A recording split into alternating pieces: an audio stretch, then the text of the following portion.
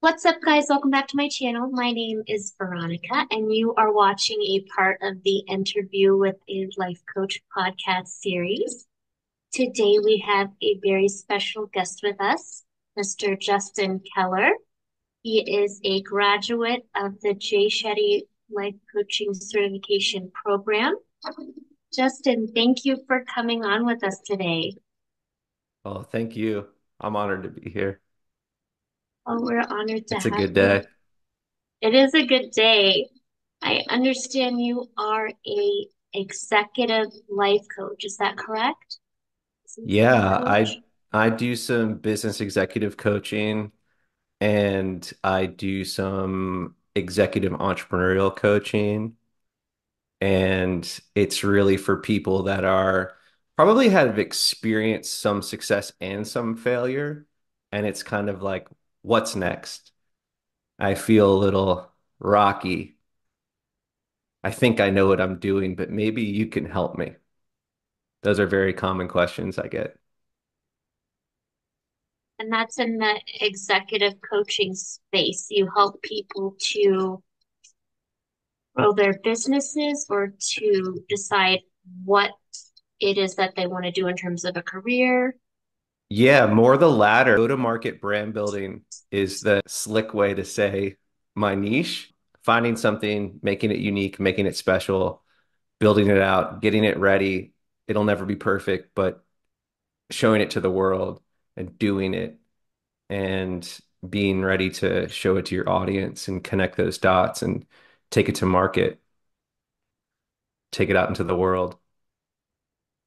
I love that. So you said a lot of what you do is working with startups and new entrepreneurs. hmm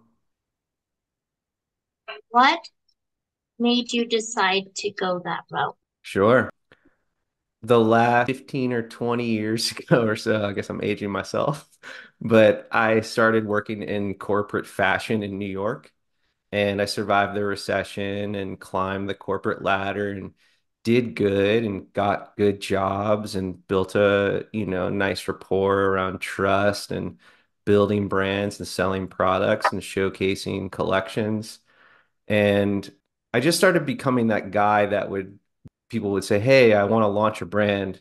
I want to hire you. Or I want to launch a brand and maybe you could help me with all your energy and momentum. Just get it started and, you know, take it to the masses, to the audience. I need some help.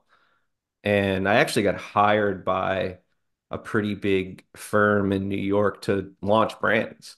And I did well. And that allowed me to take the leap to open my own business in 2015.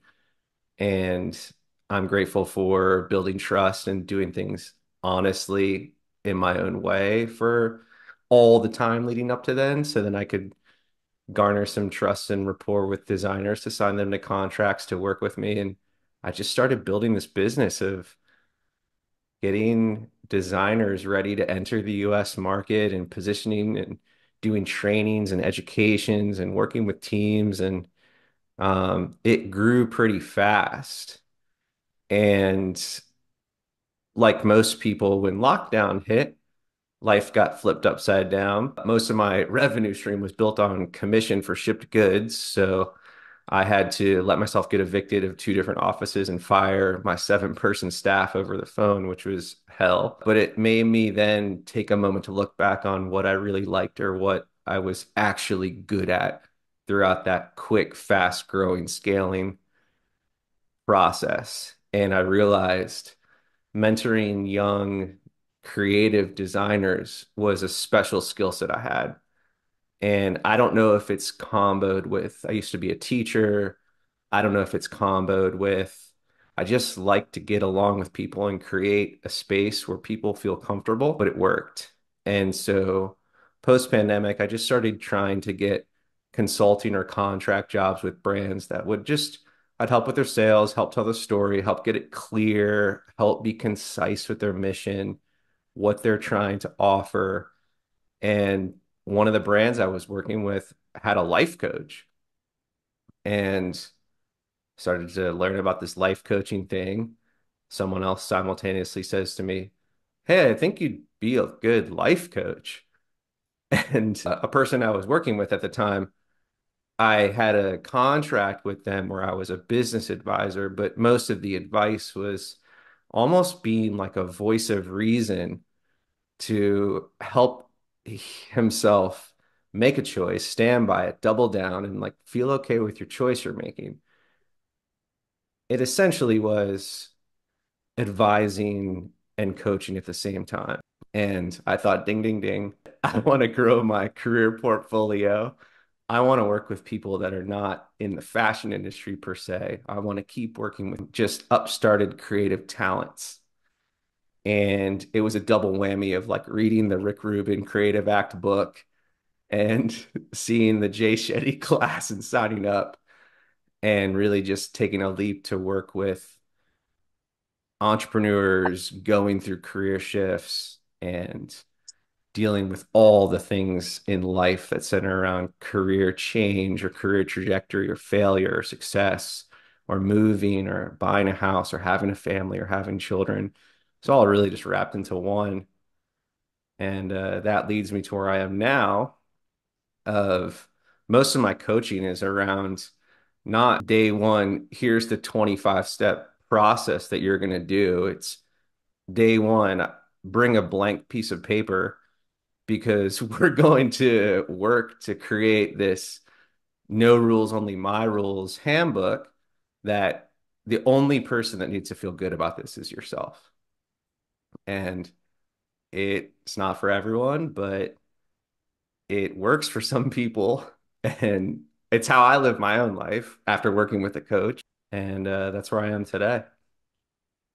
I love that. What you just said just brought to mind two questions, and I'm sorry I have hmm been asked these back to Apology back. accepted. Okay. Um, so you mentioned that you do a bit of advising alongside coaching. So would you say that your style of coaching also involves mentoring? And then what are some of the, the second question, what are some of the pain points that you've noticed in your clients that you help them to navigate through as Mm. The first one, yes. I think that the modality or choice word I would say is more of an advisor, but it is like a mentor because I have a lot of learned experiences in the men's, women's luxury goods market in the United States. I do have the ability to help steer and guide through my own experiences, knowing what has worked for me and what hasn't worked for me. Again, not telling someone what to do, but being honest with things I've gone through and witnessed. I think that as an advisor or mentor helps just gain empathy and trust also. And then your second question, again, was regards to coaching. Yes. What are some of the pain points that pain points. your clients have as new entrepreneurs that you help Yeah. them to navigate through? Number one, macro level. I have this thing I want to do, and I don't know what other people are going to think. That just encapsulates a lot of fear of starting something on your own. Like, what are you afraid of? And a lot of people are afraid of a couple things fear of failure, judgment of others, and just doing something different. So that first one, fear of failure. Well, fear is normal. And if you're afraid to fail, the only person that will decide if you fail is yourself. And if people are afraid of failure, I try to take a step back and work with that person on just overcoming confidence. A great starting point for that fear is trying something new that is super low stakes. If you fail at it, it probably won't matter. But if you do it well, it'll get this little like garner of self-confidence of, hey, I tried out this and I was okay at it. Huh, that felt good. Do it again. And building towards the confidence level of whatever is this creation you're making and creating and waiting to release, getting to that point of being like, this will never be perfect, but it's good enough and I'm going to release it. The other one is judgment, judgment of others. If someone's creating something that is not like a life or death commodity, food, water, or shelter. You're creating something that no one needs to live. Accept that because you're creating something that's a value, something that's going to elicit an emotion, get people wanting to hear more. If you believe in yourself, who cares what other people think? Like, if you're okay with it, it won't matter to what everyone else says because it's yours. Who is someone else to tell this person this is right or this is wrong? Those are perspectives. My third was doing something different does not mean it's difficult. Trying something different is unique. Trying something different is extraordinary. It's just really about the words that you use to convince yourself or oneself to do something in a unique way and go about that journey. And trust that, again, you're making something that people don't need for survival. Not everyone's going to like it. But that's okay because the more you can be everything perfect to someone and not try and be something for everyone, which is impossible, other than food, water, and shelter, you'll probably have some sort of emotional success. And at that point, you got to double down. I love it. If it's important to you and it's something that you're passionate about, to remind people that it's about perspective. Yep. So everyone. If it's not important to you, don't do it. Yes, right. We're wasting time. Yeah, and doing things because other people told you to do it, and even if you're good at it, is down the path of the false self. And the true self, or the honest self, or the authentic self, does things because the person and the individual inside knows, I am good enough at this. Sounds easy to get to, but it's not easy to get to. Yeah. Sometimes we have something that we're passionate about, but we might not be confident in the thing because we just don't have enough experience with it yet. Sure. And humans love validation, myself included. And so self validation is really important. If you're doing what you're doing because you love it and because you're being true to yourself, and as opposed to doing something because other people want you to, I'm sure that takes a toll on someone's self confidence. Yes. I consider myself a unique and extraordinary life coach. I am on my way to every day being a better and better life coach. I don't have someone that I turn to and say, Hey, am I a good coach? No, I turn to myself and all the work I put into this and all the reflections I do to be a better coach. I am my own judgment of my own success. I love that, giving yourself that power and empowering your clients to give themselves that power instead of yes. giving it to someone else to validate them. Yeah. So that you answered my next question, which was what makes your style of coaching unique? Oh, um, I would say that my style of coaching is unique because people tell me that I'm very calm. And I guess it just comes natural to me to be calm and create a calm energy. And that grounds someone that is feeling anxiety and anxious. Uh, I also have taken classes in speaking and being on camera and engaging on a screen, which is a modern way of doing life coaching.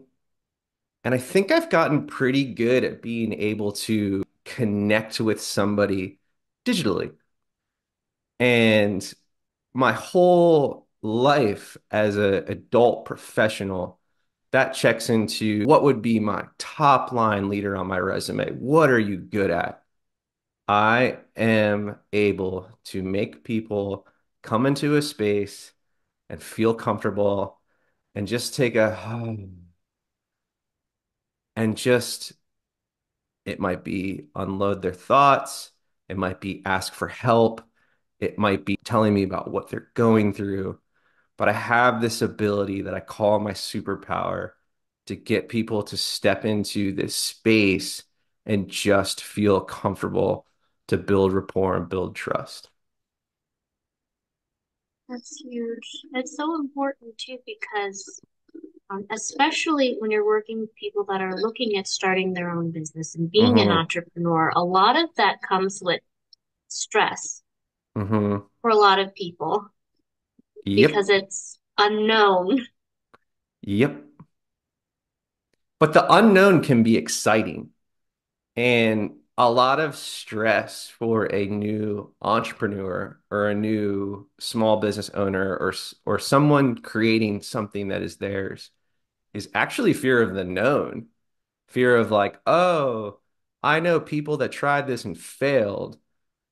But a different way to say that is I don't know if I'm going to fail or succeed. So why would I not believe in myself with an abundant mindset to say that I might succeed? Build off of that. There's back to the perspective again, right? Because you could say, well, what if this doesn't work out? But then on the other hand, what if I never know because I never tried? And then what if I try and it does work Yeah. out? And people are their own biggest critics. So the fear around what if it doesn't work, if it's actually just done, there's a good chance it's going to be better than what others expected. It doesn't have to be the final, doesn't have to be the end, it doesn't have to be the like, you know, the destination. It's just part of your journey, but it's that first foot out the door, looking around. The world didn't blow up, and then stay in your lane and build off of what makes your doing and your being and what you're creating and what you're making and what your work is unique to yourself. The journey becomes a part of the reward, the process. Yeah, the process. And sometimes when people get nervous or stressed around the process, another tip I give is just to stop.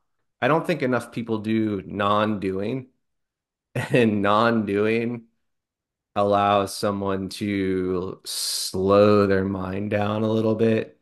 And even better, non-doing coupled with something that is fun or something that brings joy creates a higher self in the present and taking then that higher self in the present to go back into what you're doing usually lends itself to pick back up in a better place or above that baseline to get to the next level. That's so interesting. I think that's the first time I've heard that term used before, non-doing.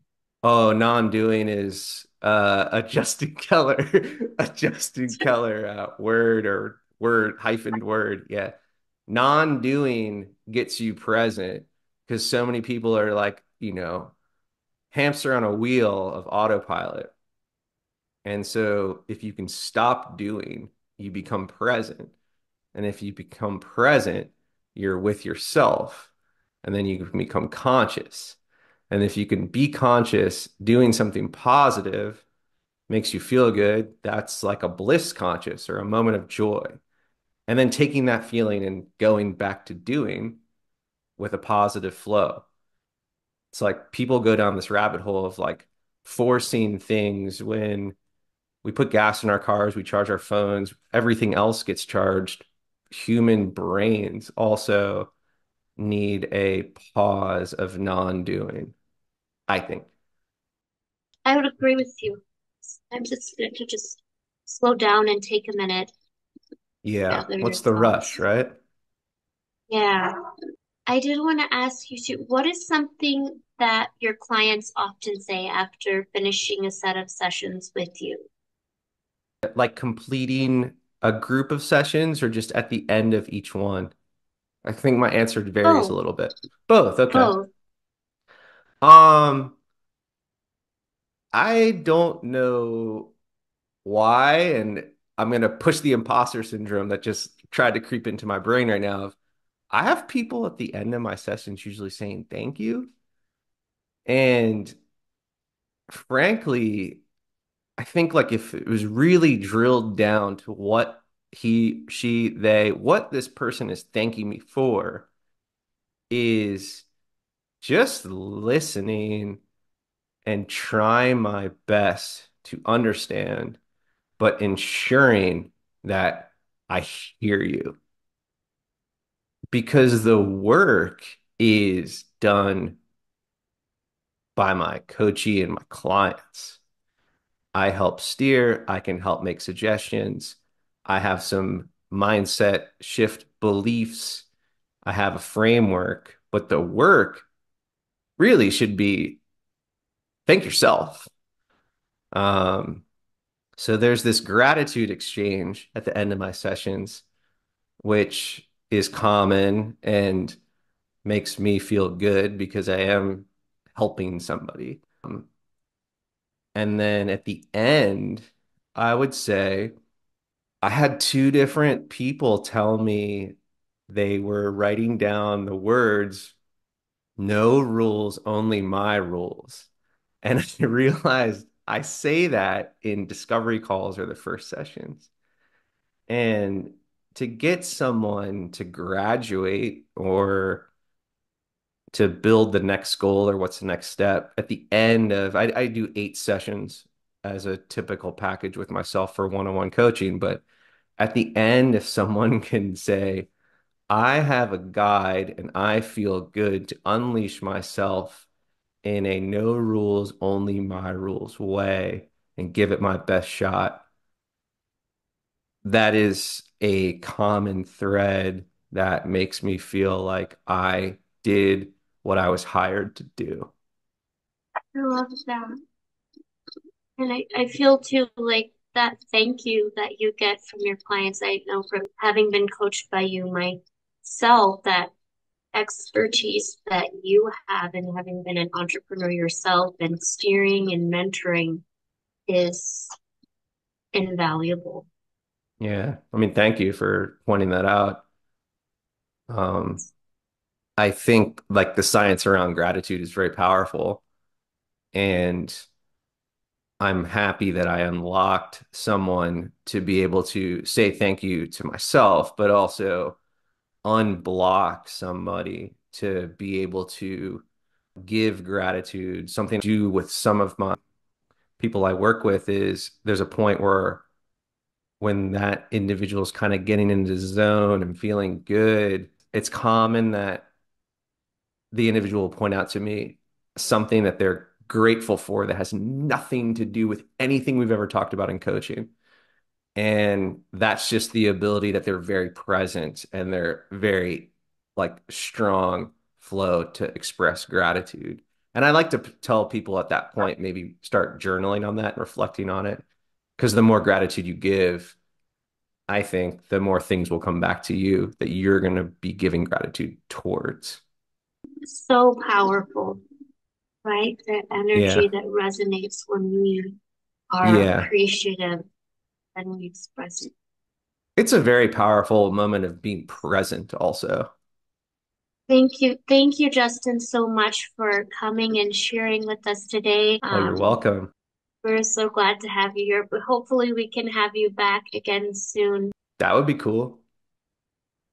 You're the orchestrator, the mastermind of the podcast. I'm just the lucky individual that gets to sit here and talking to a mic with you. Oh, well, definitely having the sessions with you helped, and I'm Oh, so grateful for that. thank you. I know you are too, because I see you on things doing it and it's powerful. So could tell yourself thank you. Yeah, thank your thank thank self. Thank you, self. I hope it, Right? but and you too. I I almost forgot. I wanted to ask you a little bit about a book you had mentioned around coaching. Was with Oh, yeah. It's a it's a it's a writer and a uh an interesting fellow named Seth Godin. A lot of my philosophical thought is very like Eastern world leaning, and I try to balance it with like corporate Western modern thought also. So I'll sometimes like read a Chopra book and then read a executive leadership book or something. And on this side, I have an author, Seth Godin, and I have two of his books, and I reread them often to give myself introspection. First one is The Dip.